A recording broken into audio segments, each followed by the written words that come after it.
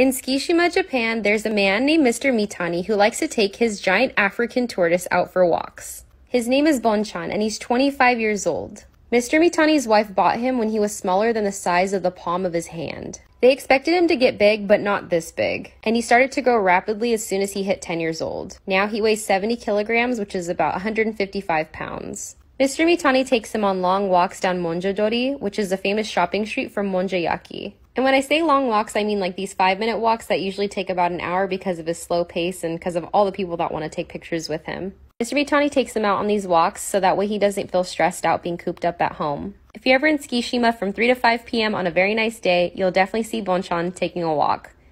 Maybe even longer because he might refuse to go home.